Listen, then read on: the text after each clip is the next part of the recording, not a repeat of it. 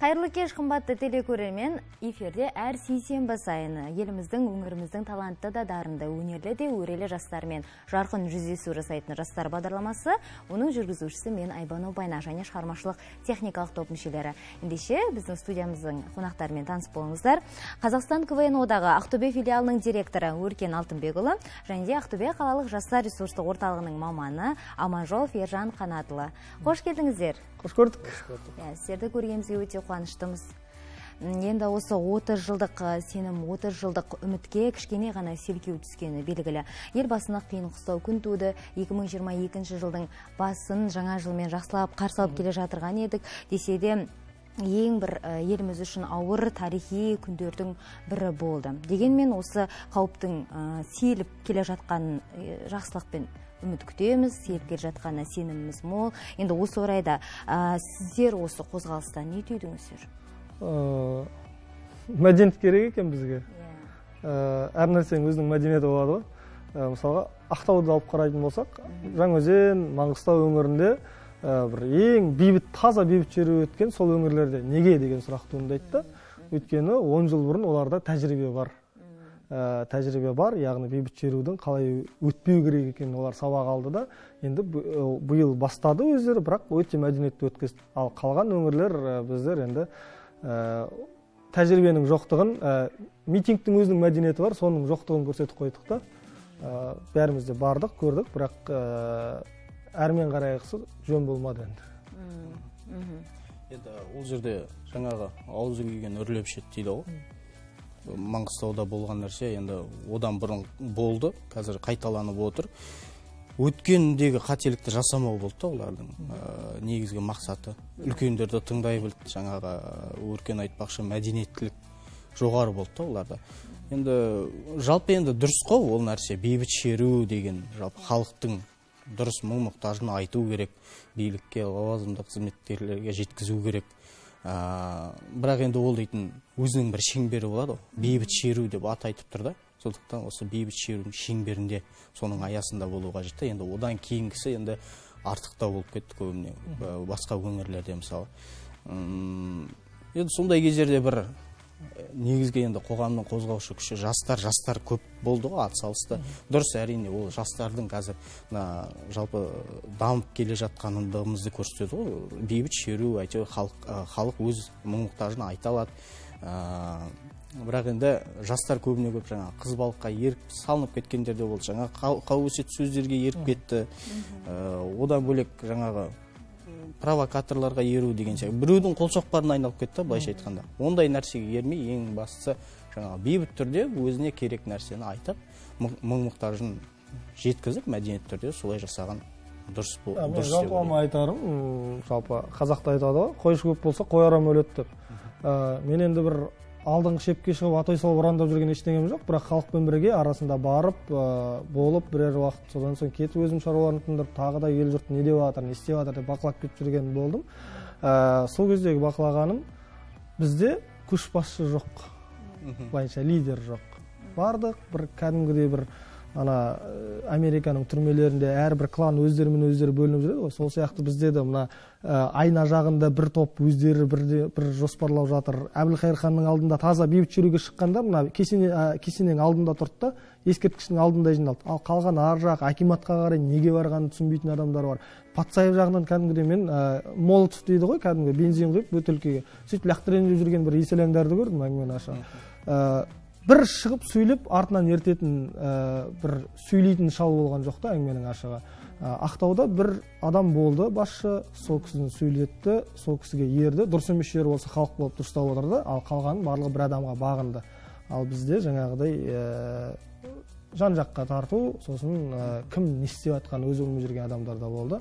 Соның кесірінен жаңағы ерме сөздерге еріп кеттік. Иә енді қарапайым халық қой бұл жерде жапа шегеді жаңағы 呃 бірақ мақсат жоқ. Халықтың да мұң мұқтажы иә мұң мұқтаж ол әрине жаңа айтып отыр енді ол таза бейбіт шеру деп шыққандар жаңа жаңағы ескерткіштің алдында дейді жаңа жаңа провокаторлар басқа бір бұзамыз сындырамыз ойбай біз айтқанымызды істетеміз дейтін нәрсе адамдардың барлығы енді жан жақтан сөздің шыны олар тікелей кел- келе алмайды ғой. Өйткені мына жерде қарапайым халық тұр да қаншама тоқтататынын біледі. Сондықтан мына шеттен келіп енді арттан келіп пышақ сұғу да ол жердегі көбіне көп шетте жүргендер. Енді соларға еріп кетіп жатыр да жастар. Ә, өздерінің қандай мақсатпен жүргенін білмейді ана жерде сөздің шындығы. Тек бұзсақ сындырсақ болды ол күшпен шешілмейді ғой ешбір нәрсе. Ә, кәдімгідей өзіңнің ә, мұң мұқтажыңды келіп кәдімгі осы елдің азаматы ретінде қоғамға жаңағы ә, жаны ашатын иә ақылға салып дейсіз тыңдай да білу керек. Иә сол жаңағы енді ә, лидердің жоқтығы ау деймін. Сол нәрсе көбіне көп. Негізі басу айтатын адам болса ана жерде бір үлкен қария бір шығып мысалға айтса сөз сөзге тоқтаған халықпыз ғой. Негізі ол жерде түсінетін еді. Тек лидердің жоқтығы сияқты меніңше. Көбіне көп жастардың былай былай еріп кеткені. Енді өзінің де сана түйсігіне тіреледі бірақ енді ол жерде бір сөз бастап сөйлейтін бір кісі болса мүмкін ары қарай артық нәрсеге кетпес пе еді. Түсінікті. Десек те бейбіт шеруден басталған дүрбелең оқиға арандатушылыққа арта барып соңы неге әкеліп соққанын барлығымыз көзімізбен көрдік. Өздеріңіз де жас белсенді жастар ретінде қатарында болдыңыздар. Көздеріңізбен көрдіңіздер. Енді осы дәл дер уақытында ел басына күн туған кезде ел президенті қасым, Кеме- қасым жомарт кемелұлы тоқаев өзінің мәлімдемесін жасады. Ел еңсесін қайта еңсеруде талай тапсырмаларды алға жоспарларды қойғаны белгілі. Енді сол мәлімдемесінің ішінен өздеріңіздің көңілдеріңізге жаққан қандай ой түйін болды? Осы ақтөбеден шыққан ақтөбелік өзі әзілкеш жайдарманшы қазір жайдарманы жоғары лигасының ә, редактор бас редакторы бар рамазан файлов деген. Ә, сол кісі айтқандай тіпті таксистердің өзі мақтайтын елге айналайықшы деді расымен де қазір ә, жалпы саясатты таксистерден артық білетін адам жоқ деп әзілдейміз ғой. Бірақ былай қарап тұрсаң сол кісілер иә халықты мұң мұқтажын тыңдайтын сол жандар да көбінесе.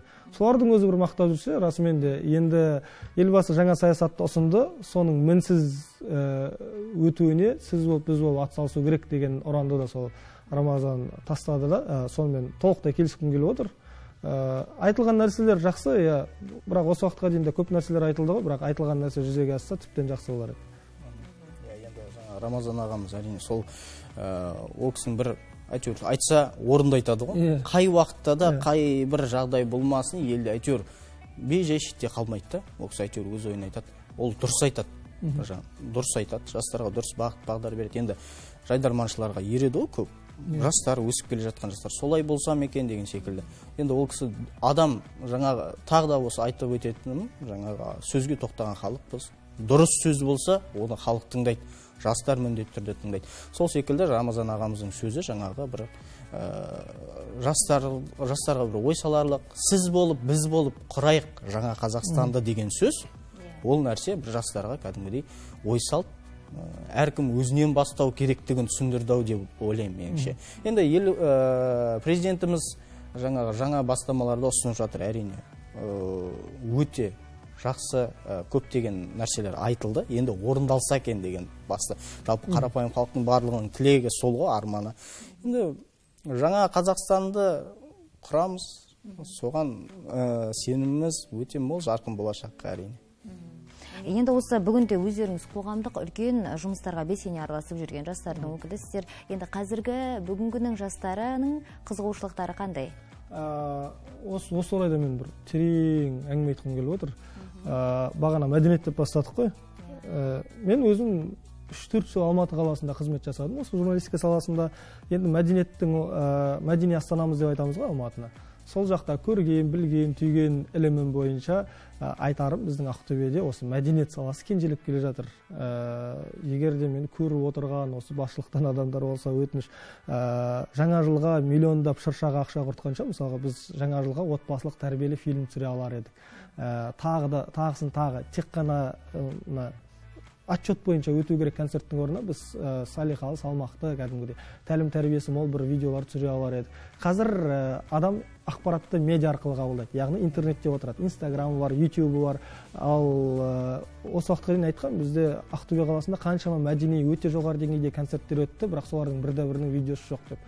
Ә, мен ақтөбе қаласына келген кезде айтқанмын оның барлығы үкіметтің қолдауымен ә, облыстық әкімдіктің қолдауымен өткізіліп жатыр бірақ оның бірде бір видеосы жоқ. Егер де сол концертті толықтай видеоға түсіріп ә, YouTube видео хостингіне жүктеп қойған жағдайда ақтөбелік бір екі әншіні мүмкін ә, республикаға танымал бір продюсерлер көріп олардың жұлдызын әрмен қарай жағар ма еді жоқ өкінішке орай бізде концерт президент саябағында өтті сол жерде қалды. Ә, болды оның өткенін сол жердегі келген мың адам біледі болды әрмен қарай ешкім білмейді. Ал сосын мынандай нәрсе бар ә, қалыптасқан стереотип тағы да мәдениет саласына келеді. Мәдени жағынан әншіге болсын басқа өнерпазға болсын көтерілу ақтөбеде өте қиын. Әңгіменің ашығы ренжімеңіздер. Ә, бірақ сөйтіп жүреді да біреу төбелесіп арпалысып анда барып мында барып анаған бір жалынып мынаған бір жалынып алматы асып астана асып сөйтіп жүреді да көтеріледі. Бірақ көтерілгеннен кейін қараңыз ә, көтерілгеннен кейін ол жаңағы өзі кезінде есік қағып отказ алған адамдардың барлығын есіне түсіреді да ол ешкімді менсінбейді ешкімді мойындағысы келмейді. Неге? Өйткені ол өзі көтерілді.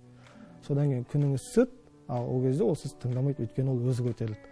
Ә, мен мына алматыда жүрген кезде шымкенттік достарым бауырларым көп болды. Соларға қарап үйренгенім олар жаңағыдай бәрі жабылып бір адамды көтереді. Ол көтерілді ма екіншісін тартады үшіншісін тартады. Сөйтіп сөйтіп олар кәдімгідей алматы мәдениеттің ошағында кім көп? Шымкенттіктер көп. Неге? Өйткені олар бауырмал. Өйткені олар бір бірін қолдайды. Өйткені ол жақта мәдени жағынан дамыған.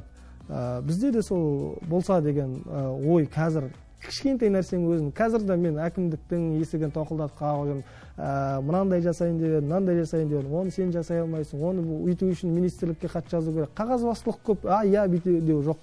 Ә, сондықтан құрметті мені көріп отырған әкімдіктегілер өтініш жастарға ә, соның ішінде істеймін деген жастарға мүмкіндікті көбірек берсеңіздер және де бергеніңізбен қоймай оның әр тиынына дейін санамай керісінше қолдау көрсетсеңіздер бізде кез келген жағынан медиа жағынан ә, мәдениет деген ол әр нәрседе бар мәдениет. Спорт мәдениеті бар. Ақтөбе біз футболдың отанымыз ә, субкультура дейміз ғой.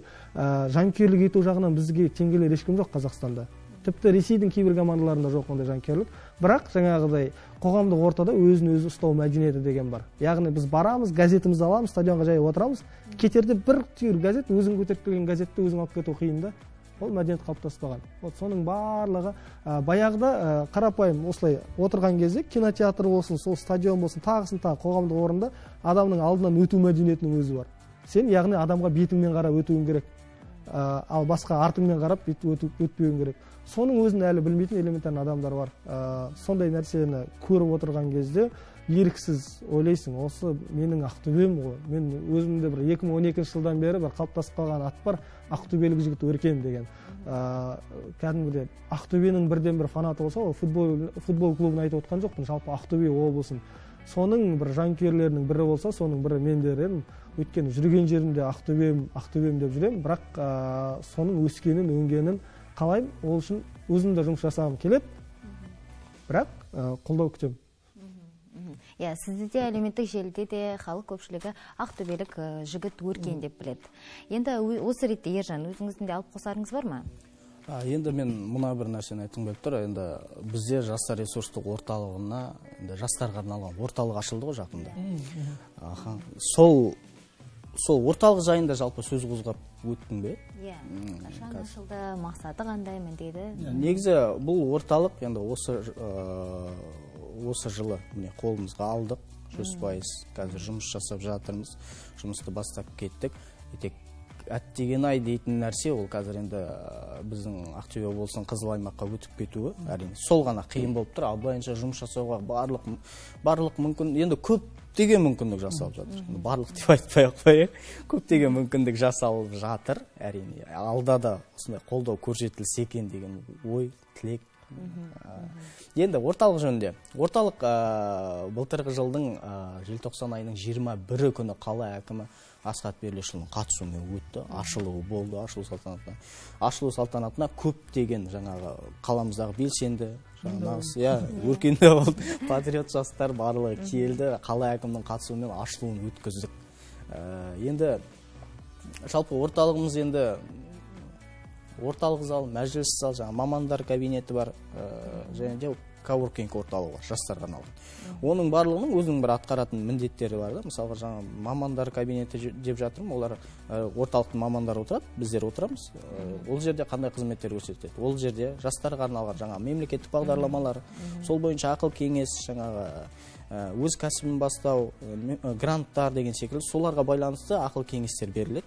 Одан кейін мына енді мен айтқым келіп отқан коворкинг орталығы ғой жастардың орталығы да. Бұйырса енді ашылдық жүз пайыз қолымызда. Енді жастардың барлығын осы орталықта күтеміз. Енді менің жаңа мына нәрсе қуантады да мені. Жалпы орталық коворкинг ашылғаннан кейін әлеуметтік желі енді қазір дамыған заман ғой. Салдық инстаграм желісіне өзіміздің ресми ресми инстаграм парақшамызға салдық орталықтың. Осы орталықта қандай шаралар өткенін қалайсыздар деген сұрақ болды да. Ол жерде жастардың бір белсенділігі қуантты ерекше. Жастар қазір ә, білгісі келеді үйренгісі келеді көргісі келеді екен да. Біліп көріп үйренгісі келеді. Айтады осындай осындай тренингтер болса жаңа психологиялық тренинг жаңа тағы да басқа деген тағы да басқа одан бөлек жаңа оқу. Енді мобилография дамыған заман қазір. Мобилография одан бөлек жайдарман жаңа мысалы жайдарман саласына оқыту болса тағы сөздің шыны иә? иә қазақ қазақ тілінің өзін тереңдетіп оқытатын бір трен, ә, курстар болса екен. Одан қала бер орыс тілі ағылшын ол да басқа одан басқа жаңа қазақ тілін тереңдетіп оқысақ деген ә, жастардың барлығын көріп қуанасың да ұсыныстар өте көп. Одан бөлек жаңағы ә, кездесулер өткізсек дейді. Иә. енді кездесу қазір көбіне көп. Ә, қарның ашатын нәрсе тек бос әңгіме да келіп кетті әңгімесін айтты кетіп қалды. Ондай нәрсе емес жастардың қуа, ерекше қуантқаны ұсынысында ә, рухани азық алатын жаңағы кездесулер дейді. Тарихшылармен ә, тарихшылармен әдебиетшілер бар. Жаңағы филология ғылымдарының докторлары профессорлар. Ә, одан бөлек жаңағы ә, енді осы жерде жайдарманның жалпы елімізде атқаратын рөлі көп қой сөздің шыны. Жайдарманшылар қазір бүткіл салада ғой жаңағы ағаларымыз бар ағаларымыз бар. Ә, рамазан фаилов жаңа айтып өткен. Есет есет ағамыз фемида иә? Одан кейін есет мырзағазиев одан кейін азамат жадрасымов қой иә? Осы ағаларымызбен кездесу өткізсек дейді да мен енді түсінемін жастардың ол кездесуін неге неге өткізсек дейді. Өйткені ол кісілердің жаңағыдай тағы да айтары бар да. Иә. Жастар оларды тыңдайды. Осындай бір рухани азық алатын кездесулер өткізсек деген нәрсе қуантты. Елдің жаңағы халықтың жастардың соның ішіндегі. Біз енді 14 пен 29 жас аралығында жастармен жұмыс жасаймыз. Негізгі аудиториямыз солар ғой. Сол 14 пен 29 жас аралығындағы жастардың ә, оқу білімге деген құштарлығы жаңа тренингтерге өзім білсем оқысам деген ә, осы нәрселерге құштарлығы өте қуантты. Енді ержанның сөзін ә, бір түртіп алғым келіп отыр. Қазір барлық жерде жайдарманшылар деген. Расымен де қазір кинотеатрларда касса жинап жатқан фильмдер бар отандық фильмдер. Ә, бизнес по казахски бар жаңағы брат или брага бар тағы басқасы қателесуім мүмкін. Ә, соңғы шыққан фильмдердің соңғы бір үш төрт жылдықта шыққан фильмдердің енді жүз пайыз демесем де тоқсан пайызының автор сценаристерінің қатарында немесе толықтай жайдарманшылар. Ә, енді бір қызығы қараңыз. Ә, соңғы шығып жатқан бірнеше фильмнің авторлары режиссерлары жаңағы бағана айтып өткен жалпақ тілмен айтқан кезде енді ешкім ренжімейтін шығар. Басқа қалада қаңғып жүрген ақтөбеліктер ә, солар жазып түсіріп шығарып жатыр. Неге? Өйткені олар бұл жақта мүмкіндік жоқ шығаратын. Ә, бұйырса біз сол жай, ә, идея жетеді пішен жаңағы қазақ, қазақша айтқан идея пішен. Ол соны оратын бүйтіп буатын және де бүйтіп тасымалдауға шығаратын мүмкіндік жоқ. Ә, бізде жаңағы алматыда жүргенде бір видеоға түсіретін монтажер іздейсің кәдімгі бәрі өзінің бүйтіп портфолиосын ұсынады. Бізде сол адамдарды екі орап алатын монтажер операторлар да бар. Бірақ олар ә, ақшаның көзі тек қана той болғасын той түсіріп қана жүр. Сонымен ғана шектеліп жүр. Әрі кетсе жарнама түсіреді болды. Бірақ бізде тіпті ақтөбеде маркетингтің өзі дұрыс дамымаған адамдар жарнамаға ақша салғысы келмейді бизнесмендер. Жарнамаға ақша салғысы келмейді. Құр ғана инстаграмдағы таргетингпен шектеледі болды. Ә, сондай соның барлығын қайта жүйеге қалыптастырып жаңағыдай бұйырса біз авторлық топ құрып барлығы мына жерде тұр. Енді соған биылдан бастап жайлап жайлап міне енді қадам басайын деп жатқанда қазір қызыл аймақ тұр. Енді бүйтейін деп жатқан кезде басқасы тұр. Тағы бүйтейін қарапайым нәрсе бізде керуен мега дейміз ғой. Соның ішінде видео түсіру үшін сен бір күн бұрын қағаз жіберуің керек рұқсат алуың керек сосын барып түсіре аласың. Міне ең рұқсат берсе. рұқсат берсе ғана. Ең қарапайым ғана қиындықтың шегі. Ә, сол сондықтан да осындай олқылықтардың орнын толтыру үшін не істеуіміз керек? Жоқ біз өз тарапымыздан енді биылдан бастап қолдан келгеннің барлығын жасаймыз. Кәдімгідей бәрін команда жинаймыз жазамыз ә, бұйырса енді кіттай кіттай өзіміздің тапқан ақшамен түсіреміз. Түсіріп та бастадым енді ә, жарнама бола алатын шығар бірақ мен айтайын осыдан бір жыл бұрын ә, YouTube видео хостингінде балаларға арналған кез келген үйде кішкентайы бар ата аналар ютубты ашады настя дегенді қосады синий трактор дегенді қосады барлығы орыс тілінде. Балалардың барлығы орысша сөйлейді. Сол стереотипті алдым да мен жояйын біздің қазақ тілінде де бірдеңе болсын деп балаларға арналған әндер каналын аштым. Хай балақай деп. Ә, ол жаққа әзірге бір жеті сегіз ән жүктедім. Бір екі бастап өзім түсірген кәдімгі ата аналардың ақшасына түсірген фильм бір екі фильм жүктедім. Ә, бірақ қазақ тіліндегі контентке жайлап қолдау енді енді жайлап жайлап ең көп видеом жүз сегіз мың просмотр жинады қаралым жинады. Ә, қалғандары енді енді жайлап жайлап көтеріліп келе жатыр. Ә, міне жаңағыдай не істеп жатсың деген сұрақтардың жауабы жайлап жайлап өз, өз күшімізбен кішкентай кішкентайдан жүріп келе жатырмыз. Бірақ ә, қолдау болса мә міне міне тапсырмаларың міне үкіметтен қаражат міне осындай нәрсе істеп бер десе кәдімгі тауға апаратын жастар ақтөбеде жетеді. Жаңағыдай ә, әңгімені ашық қажет емес. Ә, қарапайым үш қажет емес шараға үш миллион жұмсағанша одан үш миллионға біз тым жақсы бір фильм немесе бір жоба проект түсіре аламыз тіпті биыл екі осы жылдан бастап ақтөбе қаласында туризм саласы өте жоғары дамығалы жатыр. Бірақ қараңыз ақтөбеде туризмнің неше түрлі орталықтары бар әдемі орындар бар аудандарда алыс алыс жерлерде. Бірақ соның барлығы туралы ақпаратты іздесең документал документальный фильм шығады. Ә, бір үлкен ата шығады да андай. Деп жел соғып тұрады микрофон пыр пыр еткізеді да. Мынау деген бірдеңе кесене деп айтып тұрады.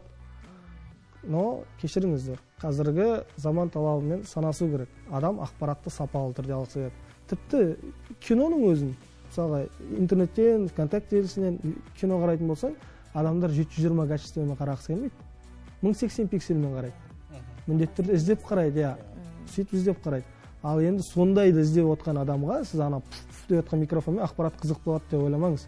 Ә, ол жерге барып бір жоба түсіру керек заманауи түрде жастарға түсінікті тілмен түсіндірсеңіздер туризм жоғары деңгейде дамиды. Сол жерге барғысы келетіндер көбейеді мысалға осы ақтөбеде еркебұлан деген жігіт бар туризм дамытып жүрген. Ә, сол жігіт алды блогерлер жинады мықты мықты аппаратпен барды да ә, ақтолағай деген қателеспесем байғанидегі ар жағында жатқан ақтолағай деген кәдімгі үстірттерге апарды аппақ тау кәдімгі ақтаудағыдай. Әдемі содан кейін ана жаққа барушылар көбейді. Өйткені ол контентті сапалы түрде медиа арқылы әдемі жеткізе білді да. Міне. Енді мынандай бір нәрсе бар ғой жаңа өркен айтып жатыр. Ә, біздің ақтөбелік жастар бар тау қопаратын.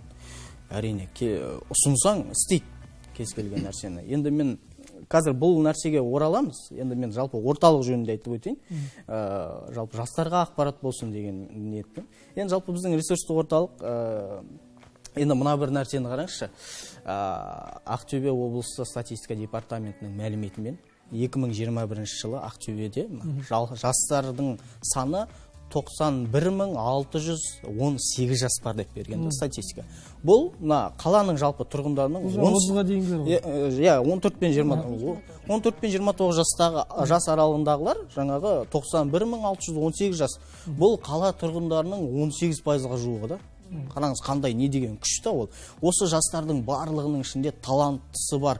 Жаңағы ақын жазушылары да бар жаңағы өнер саласында тау қопаратындай кәдімгі жігіттер қыздар көп. Іні қарындастарымыз бар аға бауырларымыз бар да. Көп. Енді ә, біздің орт ә, енді былтырғы жылы 2021 жылы біздің қалалық жастар ресурстық орталығы осы 14 пен 29 жас аралығындағы жастардан ә, 14 мың жасты қамтып барлығы 219 шара өткізген да осыны көріп мысалы басшылықта енді біз бұл жерде басшылықты жаңағы жаман жаман деп та айта бермейміз ғой әрине. Оның да қолдайтын жерлері бар ғой. Енді қолдап осы былтырғы жылы одан бұрынғы жылы атқарылған жұмыстарды көріп одан бұрын атқарылған жұмыстардың барлығын көріп міне жастарға арнап орталық ашып жатыр да. Енді ендігі мәселе бұл орталықта не істейміз деген мәселе. Жаңа өркен айтты жастар бар ә, жастар бар жаңағы ақтөбеден қолдау таппайды таппайды да сыртқа барып көтеріледі. Содан кейін жаңағы кішкене уже жаңағы кезінде қолдау көрмегеннің барлығы ойына келеді да уже менсінбеушілік біз айтамыз. Тағы не дейміз? Кінәні өзімізден іздемейміз. Біз звездовать етіп кетті. Болды жұлдыз ауруымен ауырып кетті дейміз. Ал одан бұрын біз ол балаға сол көтеруіне бірдеңе істей алдық па? Істей алған жоқпыз. Ол жағын ойламаймыз. Ал бірақ келіп ол кісінің өзін кінәлаймыз да енді біздің орталықтың міндеті ондай болашақта ондай жағдай қайталанбаса. Мына тоқсан бір мың жастан жасты қол жасты қолдап осы орталық орталықта кәдімгі осы сондай идеяларын жүзеге асырып ол ол осы біздің орталықта коворкинг орталығында ә, туған идеяларын мына жоғары жаққа жеткізіп сол жоғары жақ ес- естіп әрі қарай қолдау білдіріп мына 91 мың жасты әрі қарай қолдап бір республикалық халықаралық деңгейге ә, шығару енді негізгі мақсатымыз біздің орталықтың негізгі миссиясы мақсаты осы. Ә, сондықтан тағы да айтайын. Біздің орталықтың есігі әрдайым жастарға ашық. Келіңіздер қолда енді біз мына өркендермен де жайдарманшы жастармен жұмыс жасап жатырмыз көбірек. Неге? Өйткені иә біз байланыстамыз. Иә. барын көрген күшті жүр кәдімгідей. Емін еркін иә Иә, енді орталықта- кофеңді ішіп теннисіңді ойнап жаңағы. Әңгіме айтып отыратын нағыз бір бел- белсенді жастардың басын қосатын Иә, иә. орталық. Сондықтан енді орталықты көптеп айтып жатқаным сол ғой енді Иә. ренжімеңіздер Иә. енді жастар көрсін келсін. Бұл енді былайша айтқанда тегін тұрған. Иә. интернетің бар жаңағы ноутбук принтерің бар жаңағы отыратын жерлерің бар шайың шай ішесің кітап оқисың деген нәрсе тек босқа бостан бос жаңа уақыт өткізіп әңгіме айтып кету емес. Бір бір нәрселерді жасаса екен. Барлық туындаған идеясы осы былайша айтқанда біздің ко- коворкинг орталығы ә, жастардың ақтөбе қаласындағы жастардың ә, идея ә, н- не деген мықты мықты идеялар туында, тудырған қара шаңыраққа айналса деген да мақсатымыз. Сондықтан осы орталықты кеңінен насихаттап көп жерде шақырған жердің барлық жер барлық жерде осы орталықты айта беремін қайта қайта ә, себебі сол жастар келсе екен ә, көрсе екен намыса екен деген мақсат. орталық қай жерде деген сұрақ болып жатса сәтбаев және де рысқұлов көшелерінің қиылысында. Сәтбаев 16 б екінші қабат. Қандай тамаша. А, енді жаңағы блокпосттарға блокбекеттерге біздер жаңа тұрған жаңа не бар ғой қызмет сол жерде қызмет етіп жатқан күннің ыстық суына қарамай күн демей түн демей қызмет етіп жатқан әскер әскерилер батырлары. иә қазіргі заманның батырлары әскери қызметте жүргендер бар. Жаңағы ә, полиция қызметіндегі жаңағы азаматты азаматшаларымыз бар. Солардың барлығына қолдау болсын деген ниетпен. Енді шағын бір кішкене көмегіміз ғой. Мына қаламыздағы ә, волонтерлық топтардың ә, көмегімен олар, олар ә, соларға қолдау көрсетіп мына блок бекеттерге ә, тамақ апарып жатырмыз. Ол да енді бір кішігірім әйтеуір көмек деп ойлаймын. Қазіргі күннің бейбіт күннің батырларына деген иә бейбіт күннің батырлары деген кезде осы жерде тағы бір ә, кеңірек айтқым келеді. Ә, қазір енді сол митингте бейбіт шеруден бөлек жаңа арандатушылар арандатушыларға ергендер арасында ә, бір қазір істер жүріп жатыр ғой қамауға алынып жатыр сұрақтың астына алып жатыр деген. Сол кездегі бір сұрақ ә, расымен де қараны қара деп ақты ақ деп ажыратса екен деген бір ә, ниет та. Өйткені жаңағыдай қазіргі заманның батырлары деп тек қана ол тәртіп сақшыларын ғана емес сол жерде жүріп жаңағыдай өзінің денсаулығын оққа қарсы жүгіріп ана кетіп бара жатқан еселяңдарға ей қайтыңдар деп айтып жүріп күйіп кететін адамдар бар да. Сондай жандардың барлығын ақты ақ деп ақтап шықса екен бостан бос адамдар күймесе екен деп өйткені сол жерде жүрген адамдардың қатарында мен де бармын да. Өзіміз де бармыз бардық кәдімгі жарылыс болып жатқан кезде жұртқа ей қайтыңдар деп ә, ішінде таныстарым да бар. Ә, кәдімгідей барып оларға қазір сұрақ қойып жатыр екен. Сен неге болдың не істеп жүрсің? деген. Содан туындайтын нәрсе ғой ең бастысы ә, кімнің кім екенін жақсылап зерттеп әйтеуір ақиқат ең бастысы ақиқат бетке шықса деген. Иә енді жаңа айтып жатырмыз ғой біздер волонтерлық топтармен жаңа ресурсты орталықпен ә, мамандарымызбен бірігіп жаңа блок бекеттерге тамақтар апарып жатырмық одан бөлек алдағы уақытта біз осы ә, әскери қызметте жүрген жаңағы азаматтар бар. Солардың ә, басынан өткен осы оқиғаларды мына жастарға кездесу жасап жаңағы біздің орталықта жастарға ә, үлгі, ет- үлгі ретінде көрсетіп ә, яғни арандатушылыққа ермеу ғой ең бастысы. Сол ермесін осындай ә, нағыз елінің патриотымын дейтін азаматты азаматшалар енді барлығын ақылға салып ойлайды салып ойланады деп ойлаймын негізі өз басым. Ә, осы кісілердің мына өмірінен бір кішігірім жақсы жақсы оқиғаларды үлгі боларлық оқиғаларды ә, алып біздер ә, мына әлеуметтік желілерге шығарып осы жастарға үлгі ретінде ә, танытсақ деген мақсатымыз бар. Бұл енді болашақтың еншісінде бұйырса жоспарымызда бар нәрселер осындай нәрселерді істегіміз келіп жатыр. Жалпы тасадағы тұлғалар дейсің ғой. Иә, иә. Жаңағы бір тағы бір медиа саласына келеді. Мысалға ешкімнің ойына келмеді ма маған қызық. Ә, нені? Қаланың шамдарын кешкі сағат сегізде кім қосады екен деген сұрақ мысалға. Иә? Ә, бәріміз ұйықтап жатқан кезде жолды кім тазартып кетеді екен деген сұрақ. Ана лед экранға видеоларды ана ақтөбе жарында шығатын жазуларды кім салып отырады деген сұрақтар қызық та мысалға оны ешкім білмейді ешкім зерттеп жатқан жоқ. Сондайларды неге көрсетпеске деген. Соның барлығын көрсетсек жастар қызық болады осы осы осы нәрсе осы сұрақты өркен айтып жатқан мәселені бізге жаңағы айттым ғой. Біздер орталық ашылған кезде инстаграм парақшамызға салып жаңа сауалнама жүргіздік. Қандай кездесу қандай шара өткізейік деп. Сол кезде тап осы нәрсе айтылды. Жаңағы көше тазалаушылар жаңағы ә, ә, күн түн демейді олар енді. Күннің ыстық суығына қарамайды. Ә, одан бөлек жаңағы жаңа әскерилер бар.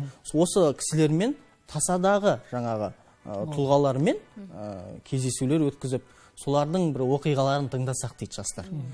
Демек бір қуантарлығы жастар ол кісілерді де ойлайды деген сөз да оларды ойлайды осылардың да еңбегі бар ғой. Неге мен осылармен жақындап сөйлесіп осылардың бір ә, әңгімесін тыңдап бір рухани рухани бір баюға неге бір не істемеймін деп жалпы талпынып жатыр да жастар. Осы нәрсе қуантады. Енді бұйырса бізде орталық орталықтың ұйымдастыруымен екі мың жиырма бір екі мың жиырма екінші жылға жоспарлар өте көп. Ә, жастардың осы айтқан сауалнама бойынша жүргізген ә, айтқан ұсыныстардың барлығын ескеріп бұйырса мына екі мың жиырма екінші жылда жастармен өте ауқымды жобаларды іске асырамыз деген ойдамыз.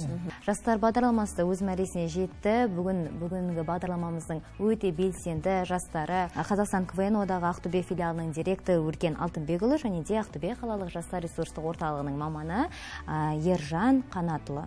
Ендеше сіздерге де өздеріңізге толағай табыс тілейміз. Шығармашылықта өрлей беріңіздер. Қымбатты көрермен келесі кездескенше аман сау болайық.